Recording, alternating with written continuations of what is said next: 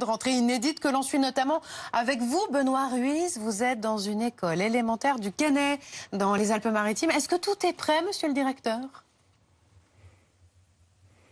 Eh bien oui, on va lui demander, tout est prêt. On, met, on va même au-delà du protocole sanitaire ici euh, dans la ville du Canet. Qu'est-ce que ça veut dire, euh, monsieur le, directeur?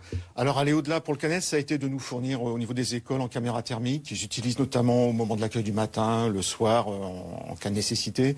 nous, au niveau de l'éducation nationale, c'est pas recommandé par le protocole de faire un accueil trop médicalisé pour les enfants, essayer de détendre plutôt l'atmosphère au maximum. Justement, il faut rassurer, rassurer, rassurer et encore rassurer. Voilà, c'est pour ça que vraiment nous, on a fait un minimum on a la chance d'avoir une grande école, deux cours euh, différenciés, deux entrées différenciées, donc ça nous divise le flot de 330 élèves par deux, euh, ce, qui est, pas mal. Et à l'école, les enfants pourront jouer normalement Alors tout à fait. Maintenant, c'est le retour aux choses normales sur les récréations. En classe, il y a peu de choses qui changent. Bon, effectivement, on évite euh, les formations d'îlots où ils sont trop, un peu trop proches sanitairement parlant. Mais voilà, tout, tout devrait se passer pour le, pour le mieux. Et voilà, merci monsieur le directeur. Donc euh, il est prêt, ils sont prêts. Les élèves aussi sont impatients. Ils sont 330 dans cette école et ils sont plus de 3000 au total à revenir à l'école euh, ici, dans la ville du Canet.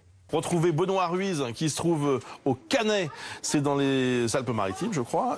Benoît, dans une école élémentaire, je vais y arriver. Là, il n'y a pas de masque pour les enfants. Non, il n'y a pas de masque pour les enfants. Il y en a seulement pour euh, Madame Resta, l'institutrice qui est justement en train de distribuer les prénoms de chaque élève. Alors aujourd'hui, euh, ça a débuté de manière presque normal, on va dire. Les parents devant l'école nous ont dit qu'ils attendaient avec impatience cette rentrée. Les enfants aussi un peu stressés, mais qui ont envie de retrouver leurs copains, qui ont envie de rejouer dans la cour. Ils auront le droit de jouer euh, au ballon, ils auront le droit de jouer ensemble. Ici, euh, dans la classe, ils sont chacun à leur place. À la cantine aussi, ce sera strict. Il y aura un protocole sanitaire qui a été établi par l'éducation nationale, mais vraiment, on a l'impression que tout le monde a le sourire ce matin le directeur, les professeurs, les parents, les élèves. Donc pour l'instant, voilà, c'est une rentrée quasi euh, normale. Reste à savoir dans les prochaines semaines ce qui va se passer. Mais en tout cas, aujourd'hui, c'est vraiment une bonne ambiance qui règne ici dans cette école euh, du Canet avec tout le monde qui est heureux de retrouver euh, les élèves. Donc voilà, ça se passe vraiment très bien ici dans les Alpes-Maritimes. Il y a à peu près là des, CE1, CE2 euh, qui sont en train de euh, manger. Et donc euh, aujourd'hui, une ambiance assez détendue, assez tranquille dans cette école. Même les parents nous l'ont dit ce matin. Ils sont contents de voir leurs enfants revenir ici revenir à la cantine, revenir à l'école, tout comme les enseignants et le directeur.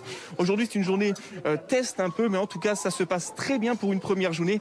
Reste à savoir dans les semaines qui viennent comment ça va se dérouler avec ce virus. En tout cas, pour répondre tout à l'heure à votre question, vous demandiez poulet frites, Damien? Non, aujourd'hui, c'est plutôt ravioli et flan